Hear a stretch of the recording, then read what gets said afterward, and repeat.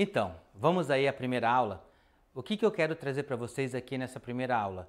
Trazer para vocês que o corte de cabelo é a essência do profissional cabeleireiro. Uma coisa que quando eu ouço aí nos meus cursos presenciais, tanto o curso de mecha, de colorimetria ou mesmo o curso de corte, eu recebo muitos alunos aqui na academia e em vários outros lugares do Brasil, aonde eu já ministrei curso, e uma coisa que quando eu ouço me dói o coração é o profissional falar que ele faz alisamento, ele faz mecha, ele faz cor, a única coisa que ele não faz é o corte.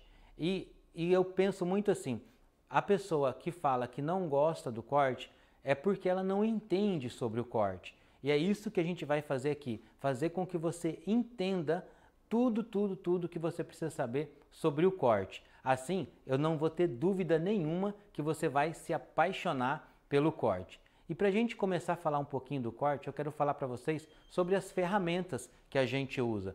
Como, como uma ferramenta pode fazer toda a diferença aí né, na sua profissão. Vou começar pelas escovas, que é uma coisa mais simples ali. É uma boa escova para você fazer o acabamento do corte vai te ajudar muito, né? Então, o que eu quero mostrar para vocês, essa escova aqui é uma escova que eu uso muito que a gente chama ela de escova da verdade. Se você não tem uma escovinha dessa, usa uma escova raquete e vocês vão ver muito aí é, no decorrer da aula prática do corte, né? Eu secar o cabelo com essa escova e a gente chama ela de escova da verdade porque você vai secar o cabelo naturalmente, deixar o cabelo da sua cliente o mais natural possível antes de você fazer o acabamento do corte. É, a gente vai cortar o cabelo úmido, molhado, vai secar com uma escova dessa daqui e depois vai fazer o acabamento do corte para depois finalizar e modelar. Para modelar o corte, a gente costuma usar uma escova com cerdas né, de pelo animal, que vai ajudar essa escova, ela ajuda você a dar um polimento melhor no seu cabelo, ela vai dar muito mais brilho e se você quer fazer uma escova mais lisa, ela vai te ajudar maior porque ela tem uma aderência melhor no fio. Na hora que você puxar, você vai ter aí um cabelo um pouco mais liso, mais polido, com maior brilho.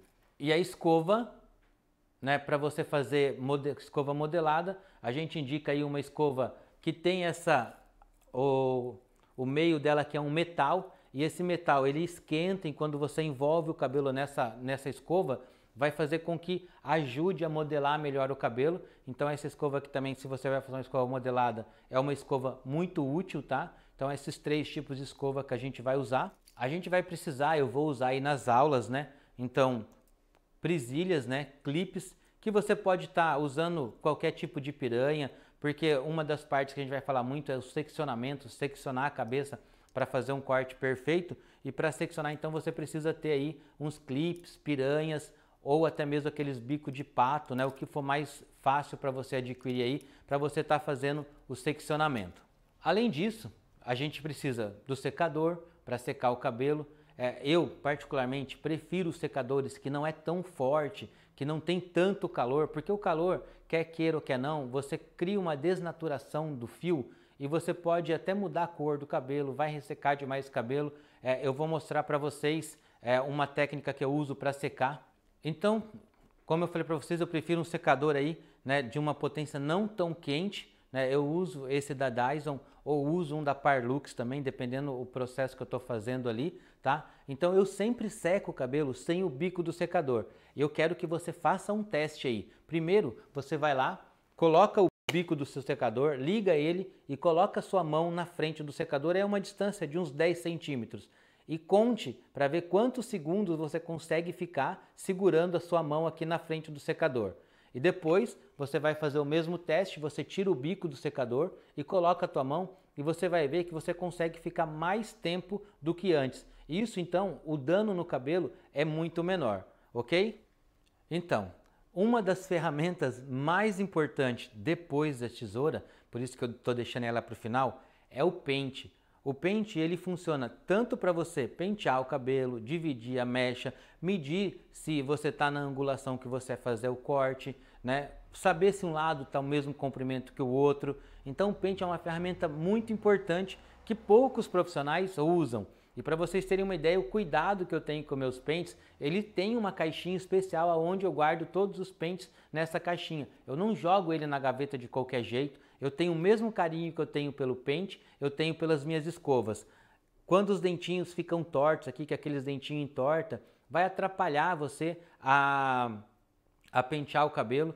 E o ideal é que você use um pente desse tipo aqui. Não precisa ser dessa marca. Depois eu posso falar para vocês um pouco mais sobre esse pente, né? Mas o que você tem que entender é que ele precisa ter um lado com as cerdas mais estreitinhas, que é onde eu uso para pentear na hora de eu cortar o cabelo, e as cerdas um pouco mais abertas que eu uso para dividir, para desembaraçar. Então eu penteio para desembaraçar com esse lado do pente e quando eu vou cortar, que eu vou pegar a mecha, eu pego sempre o lado fino do pente para ter certeza que essa mecha foi bem puxada, que ela vai estar tá na posição certa.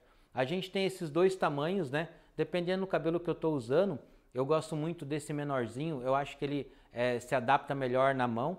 Se você quiser saber um pouco mais sobre esse pente, você pode estar pesquisando aí por YS Park 339 e YS Park 386. Esses são o nome desses dois pentes. Mas como eu falei, você não precisa ter exatamente esse pente, mas precisa ter um pente que tenha um lado os dentinhos mais largos e outro lado os dentinhos mais estreitos, ok?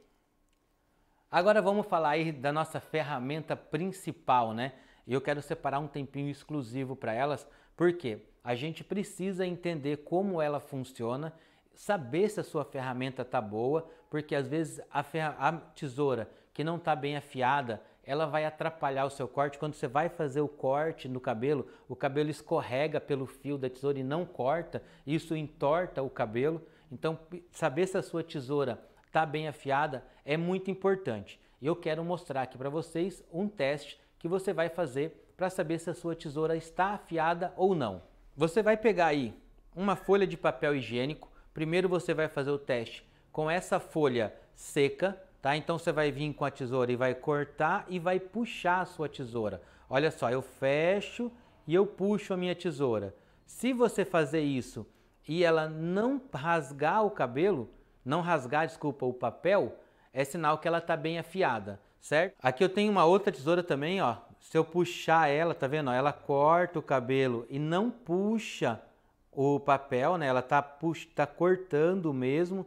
Então é sinal que essa tesoura aqui ela está afiada. E depois você vai refazer esse teste com o papel úmido. Você vai borrifar um pouco de água no papel até umedecer ele, ok? E vai fazer o mesmo teste. Fecha a tesoura e puxa. Fecha a tesoura e puxa, ok? Se não rasgou o papel, a sua tesoura está afiada. Eu separei para vocês aqui dois tamanhos de tesoura diferentes e como eu falei já, eu tenho uma coleção de tesouras, eu gosto, eu sou apaixonado por tesouras, mas eu separei essas duas para vocês entenderem uma coisa. Separei uma tesoura um pouco maior, com 7 polegadas, que eu uso essa tesoura aqui quando eu quero fazer um corte de cabelo seco.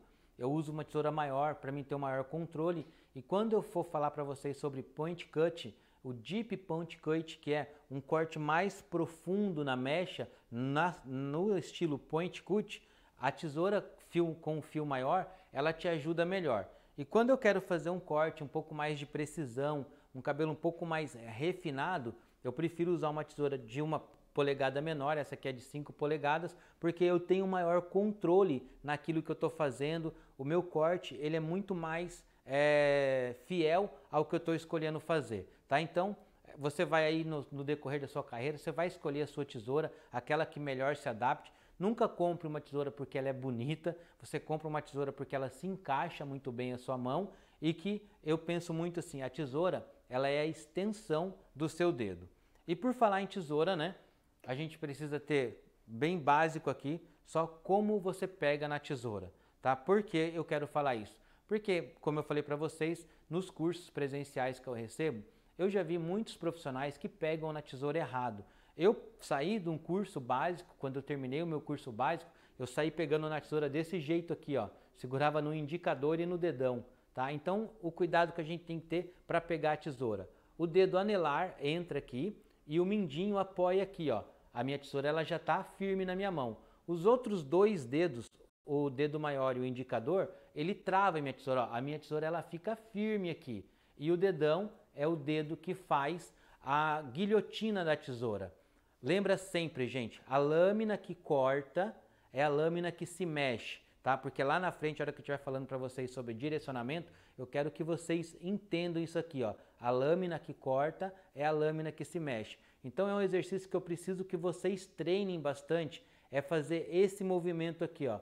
Mexer só o dedão e deixar a lâmina que está nos seus outros dedos aqui parado para criar essa guilhotina aqui, ok?